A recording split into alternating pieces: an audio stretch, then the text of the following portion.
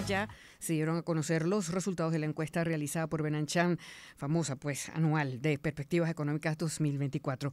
Así que te, saludamos Isabel Bermúdez y esta servidora Graciela Beltrán Carías, Luis Vicente, bienvenido. Hola, ¿cómo está? Encantado de hablar con ustedes. Bueno, fíjate que esta encuesta anual de perspectivas de Benanchan eh, es muy interesante y puso una nota optimista por primera vez en años. Y mira que hemos visto esta encuesta tantas veces, ¿verdad?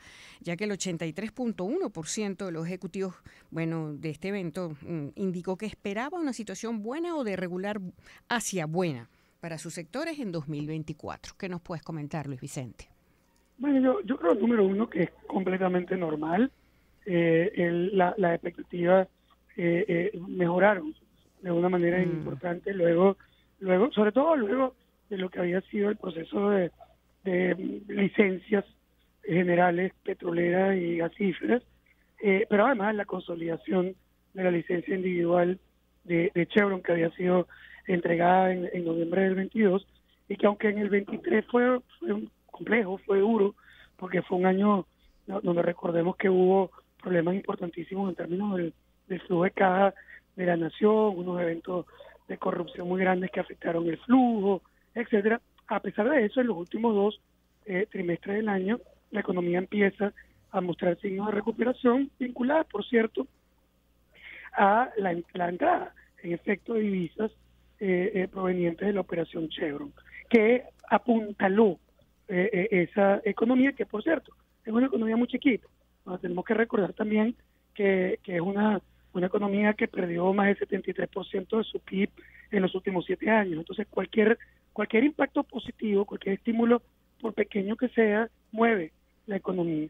¿Qué, qué pasa? Que eso se consolida con, con la uh, operación petrolera abierta que, que permite mejorar de manera significativa los ingresos petroleros, no, no por volumen, no porque haya grandes inversiones, sino porque antes tú estabas vendiendo el petróleo completo a descuentos de hasta 40%, más la pérdida vinculada a la opacidad de los mercados negros y ahora está vendiendo ese petróleo en un, en un mercado permisado. Entonces, claro, todo eso generó uh -huh. expectativas muy favorables y positivas.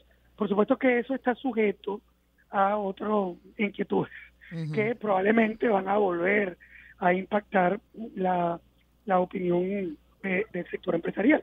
Porque ahorita está viendo la parte de movimiento. Pero existe el riesgo uh, cantado, abierto, de que en abril se, se dejen vencer esas licencias generales uh -huh, uh -huh. Al, alrededor de toda la conflictividad eh, política. Y, y ahí hay que tratar de entender cómo va a ser ese ese proceso de cambio, ¿no?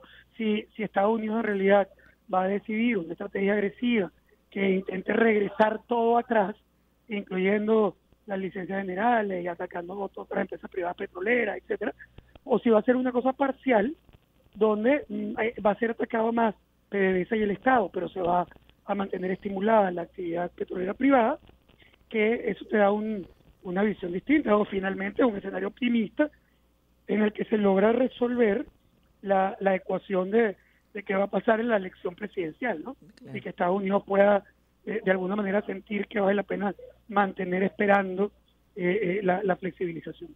Y una pregunta, porque aquí eh, leyendo la información de la encuesta anual, habla que muchos empresarios consideran que el tipo de cambio podría cerrar en un valor de 72,33 bolívares por dólar, lo que significa un aumento del 84,85% frente al cierre del 2023. ¿Cómo ves tú esto? Porque evidentemente es un, un aumento importante esa proyección que se tiene del dólar. Bueno, es un aumento, fíjate que, que, que es muy buena tu pregunta, Isa, porque el, el, a pesar de que es un incremento que te, que te llama la atención, pasando a 40, 70 y pico. Nosotros, en efecto, hacemos una proyección, digamos, en Data Analysis, hacemos una proyección que incluso es un poquito más alta.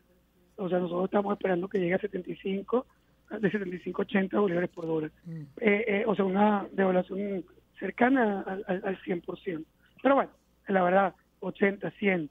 Eh, en este caso estamos hablando básicamente de, de, de, proyecciones que no vienen de modelos, sino en lo que tú crees que puede ocurrir, porque mm. no, los modelos econométricos no funcionan en Venezuela en este momento. Claro. Pero, pero esa evaluación, para que tú veas, a pesar de que suena muy alta, en realidad es bajísima en comparación a lo que se está esperando o proyectando en términos de inflación. Mm. Es decir, la, inflación que se espera este año eh, no es de hiperinflación, no es una inflación desatada como la tuvimos hace tres o cuatro años, pero sí es una inflación que podría, no, recuerdo el dato de Penamchan, pero en las proyecciones de consensus eh, es una inflación que puede estar entre 180 y 200%. Si, si tú miras que la inflación es mucho más alta que la devaluación, entonces lo que te podría decir es que el dólar más bien se desplaza menos porque el gobierno en campaña va a ser muy cuidadoso mm. en tratar de sostener colocación de divisas intensa en el mercado para mantener lo que, lo que ha sido su estrategia de anclaje cambiario.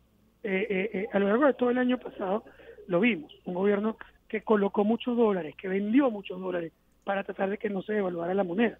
Y creo que esa va a seguir siendo la estrategia, y, bueno, y, la, y creo que los empresarios de Menacham piensan lo mismo, que el gobierno va a seguir inyectando mucho dinero para tratar de evitar que esa devaluación sea muy superior. Recordemos que en el pasado tuvimos devaluaciones, o sea, e-, ese 80% podía ocurrir en un mes.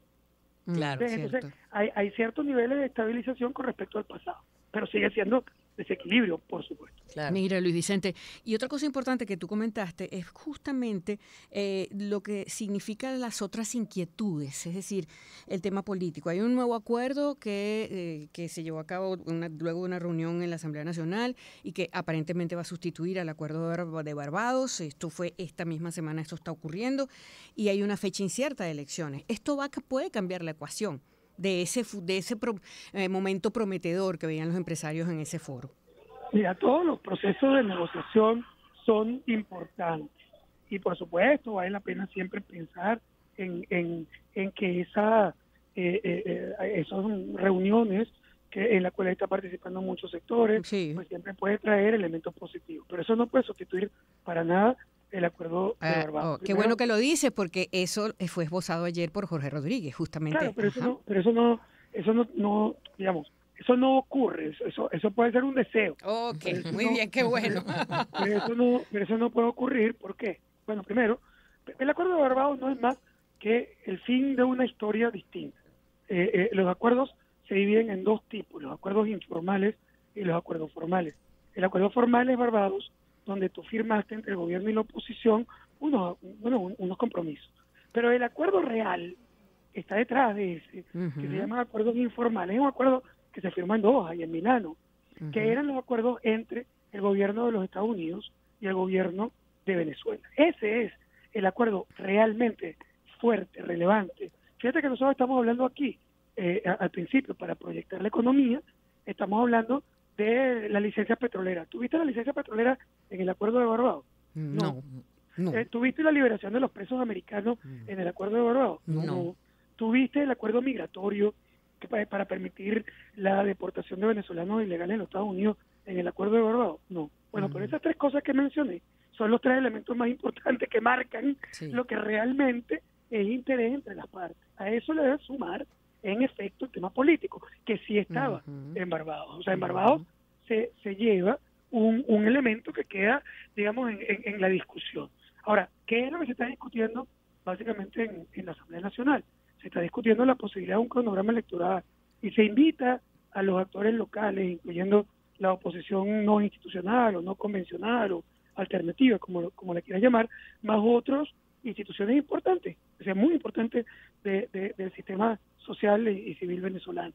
Pero, muy importante, eso no está incluyendo ni a los Estados Unidos, ni está incluyendo la solución del mm. problema fundamental mm. que genera presiones eh, entre las partes, que es el, tema de la habilitación del candidato opositor. Es decir, estos elementos no están resolviéndose ahí. tú puedes, tú puedes resolver ahí un cronograma, sí, pero eso va a resolver el problema con Estados Unidos. No.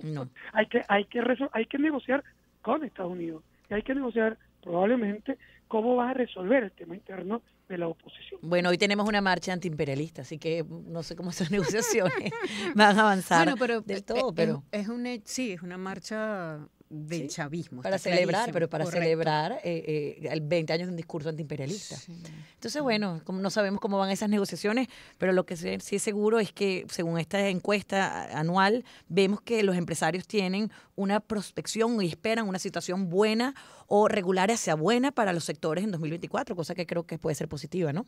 Sí, yo creo que incluso, fíjate que a- a- incluso en el peor escenario, que pueden haber algunos escenarios eh, malos en términos de la ruptura en la, en la negociación con Estados Unidos y que eso pueda afectar la- las licencias petroleras, ya la economía venezolana, yo primero no creo que vamos a- van a llegar a tocar las licencias que ya existían, y hay varias, la licencia de Chevron, la licencia de Shell en Dragon, la, la licencia de las empresas operadoras eh, europeas para hacer algunos despachos de petróleo a las islas del Caribe y a- también el, el intercambio por deuda. Es decir, hay, hay muchas cosas que están ahí que eran mejores que, ah, que lo que teníamos previo a noviembre del 22. Por lo tanto, la, la economía todavía está registrando procesos positivos que vienen de aquel momento. Entonces, lo, lo que puede ocurrir es que tú pierdas la expectativa de crecimiento mayor que, que sí teníamos al cierre del año. Sí, Pensábamos sí, que la sí. economía pudiera crecer mucho más. Es, es- es difícil que crezca más si no existen estas dinámicas, pero incluso en el peor escenario la economía de este año va a crecer. ¿Por qué? Bueno, porque ya tú tienes, primero, un año electoral, donde el gobierno sin duda va a gastar dinero. Segundo, eh, es un, eh, eh, el gobierno ha generado cerca de 5 mil millones de dólares adicionales en lo que fueron las licencias, incluso si se vencen en abril. Y, y tercero, porque el gobierno ha ahorrado recursos que los tiene dispuestos para poder ganar su elección o para tratar de ganar su elección. Yo no, no, estoy, no estoy diciendo que, que, que pueda, estoy diciendo que lo logre, Sí, pero sí, eso- sí. eso Sí, hay que aclararlo todo, Luis Vicente. Oh, Dios mío, sí, porque tú sabes que la gente se vuelve muy loca cuando escucha en radio. Es que yo escuché a Luis Vicente, o sea, muy bien. Bueno, Bueno, mira, saber. ci- ciertamente, vamos a ver qué pasa. Fíjate, este foro fue en, en enero eh, y, y viene todo lo que ocurrió luego, ¿no? Entonces vamos, tam- vamos también a estar muy atentos a las noticias, Vicente, porque eso se, la política se mueve y por supuesto la economía también. Impacta, claro que sí. Bueno, conversábamos con Luis Vicente León, presidente de Data Analysis, que nos estaba informando sobre toda esta encuesta realizada por Benancham sobre las perspectivas económicas que nos trae el 2024. Bueno, síganlo en sus redes sociales, arroba Luis B. León, donde tienen muchísima más información que dar al respecto. Vamos entonces a hacer un poquito de publicidad.